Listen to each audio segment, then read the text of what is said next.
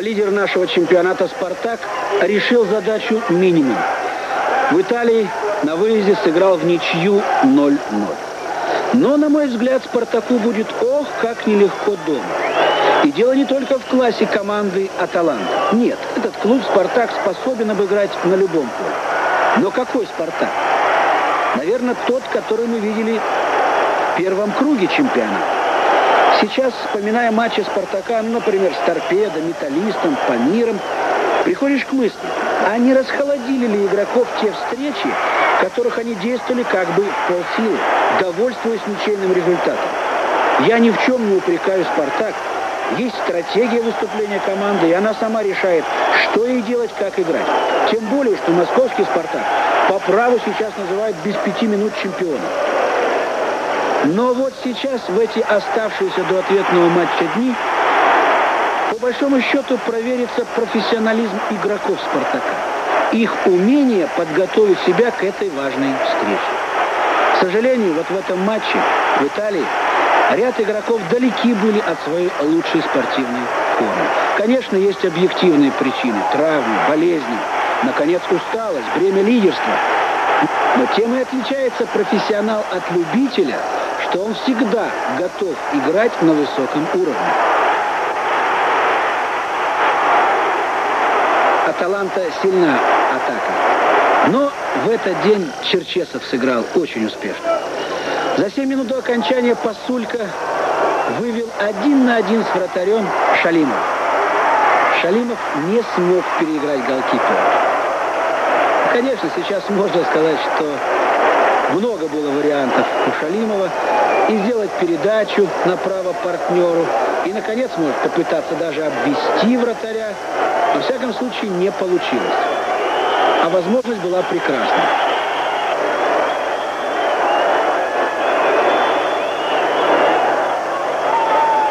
итальянские футболисты очень много работают на тренировках над ударами из-за штрафной площадки. Этого надо будет опасаться в Москве. И вот здесь тоже Черчесов был на высоте.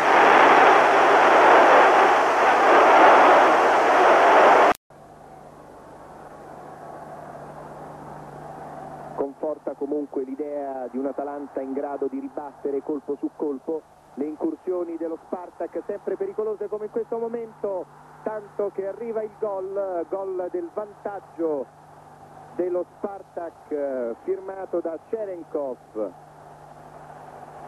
un attimo di disattenzione in fase difensiva sulla fascia destra. Abbiamo la possibilità di rivedere. Ecco lo scambio tra Cerenkov e Shalimov. Vedete l'uscita di Ferron, la finta e il piatto destro che frutta lo Spartak di Mosca il gol del vantaggio. Perde l'invito di Nicolini, troppo lungo per Stromberg, troppo corto per Caniglia.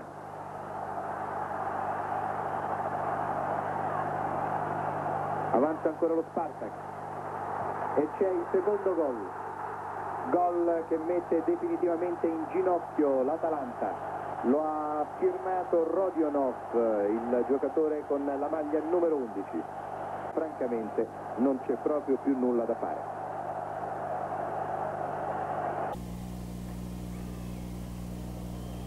Habe da so meine Probleme, die beiden auseinanderzuhalten.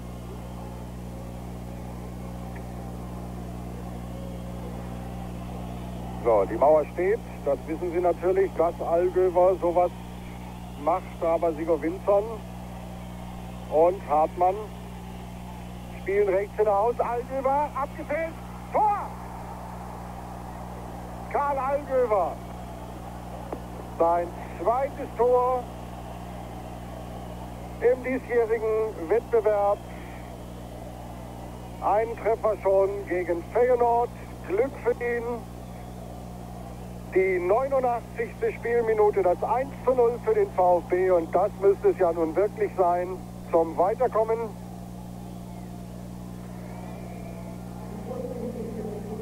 Hier, von Singer Winson rechts rausgespielt. Dann abgefälscht von Ivanov, glaube ich, da vorne dem Blonden. Und somit unhaltbar für Birjukov und in Zeitlupe auch der Jubel der VfB. Fortunato Savic perché il pallone tocca nelle sue, nelle sue cosce, nelle sue ginocchia. Guardate, potete notare, e ha questa fortuna, forse non sapeva neanche lui di segnare. Due minuti dal termine però il pareggio degli elvetici con Strudal. Strudal è un dolce in questo gol, fantastico il tiro nell'angolino. Strudal così pareggia, Pellegro Nighi, guardate, veramente Pellegro Sopra, scusate, guardate questo gol a fil di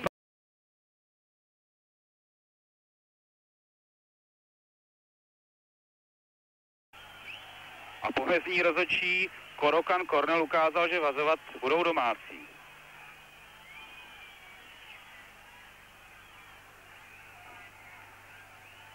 Dvacetiletý Olek Lužný spolu se Salenkem, nejmladší muž kijevského Dynama na hrací ploše.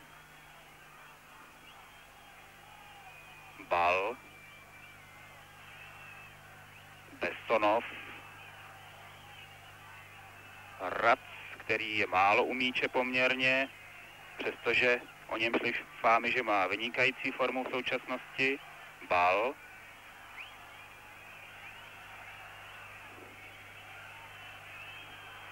Besonov. Pozor na něj.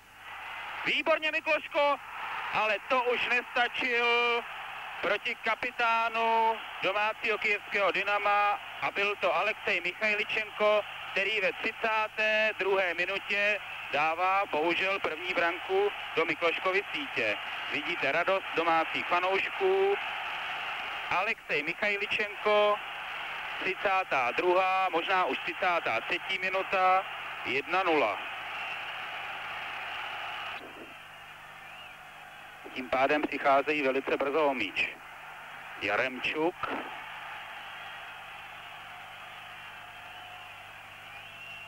který se přesunul z pravé strany na levou v tuto chvíli. Besonov. Stále Besonov. A je to branka. Je to gol. To je škoda. Vladimír Besonov šel neohroženě přímo do pokutového území Baníku. Ostravští ho nezastavili a Mikloško byl bezmocný. 54. minuta utkání. Vladimír Besonov, který neměl podle předpovědí dnes hrát, nastoupil a skóroval. Pochopitelná radost domácích fanoušků. Vidíte sami Dynamo Kiev, Baník Ostrava 2-0. Nedá se nic dělat. Baník by neměl, to Valenko.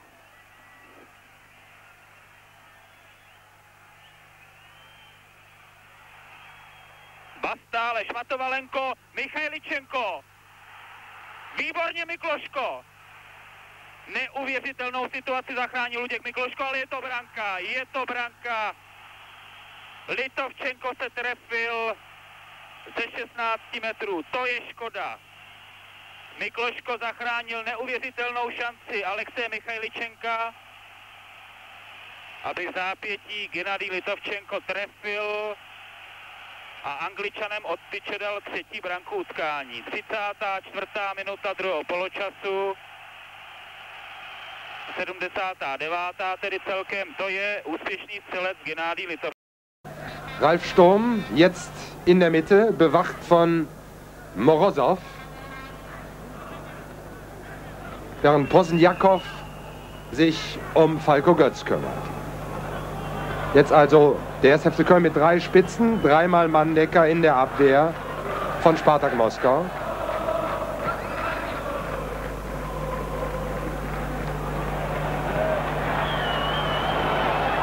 Auch zweikampfstark sind sie. Schmarov. Scherenkov gefährlich. Und Tor. Durch den Kapitän der Sowjets, durch Fidor Scherenkov. Und haben Sie gesehen, wie schnell der wieder auf den Beinen war, nachdem Bodo Egner schon gerettet hatte. Das ist natürlich eine kalte Dusche. Sehen wir noch einmal den tollen Antritt von Scherenkov, die Rettungstat von Ilkner und blitzschnell setzt er nach und drückt das Leder da noch um den kurzen Pfosten ins lange Eck. 0 zu 1, gespielt 31 Minuten. Nochmal das Ganze. Schön gehalten von Ilkner.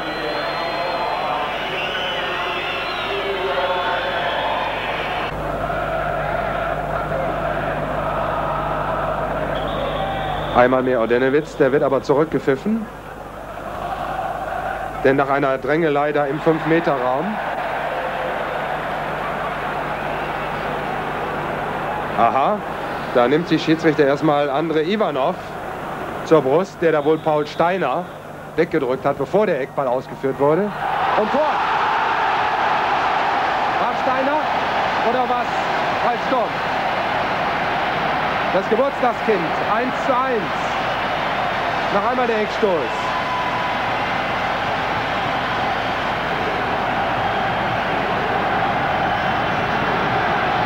Ralf Sturm zum 1 zu 1. Knapp zwei Minuten nach der Führung.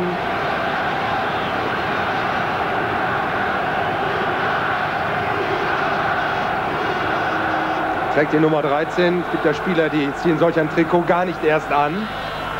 Aber für ihn Glück und auf der Gegenseite natürlich ein bisschen Pech.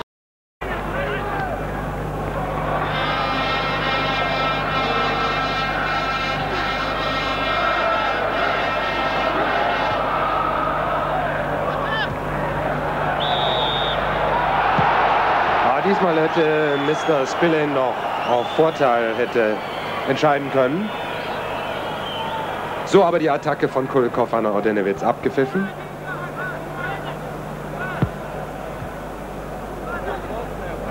Vielleicht weil Ordenewitz da ins Trudeln geriet und somit der Vorteil nicht mehr gegeben war. Der Pfiff von Schiedsrichter Spillane. Jetzt der Freistoß Lebarski. Und einmal mehr der lange Arm von Tschatschesow. Fünf Minuten noch bis zur Pause. Und Tor! Tor durch Armin Gott! 2 zu 1, 40. Minute.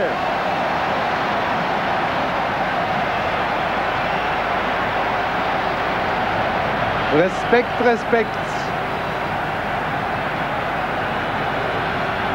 Völlig frei der Kölner Verteidiger und da gab es für Tschartschesow nicht zu halten. Das sieht natürlich jetzt schon wieder ein wenig freundlicher aus.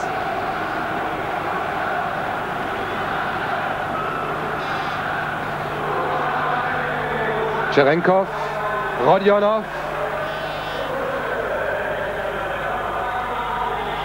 Noch einmal der Treffer. Da sehen wir, dass Kulkov daneben grätscht.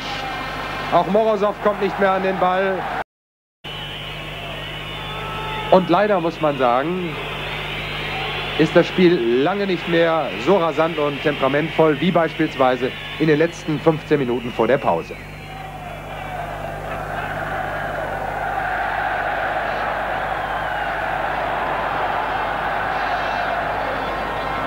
Hessler.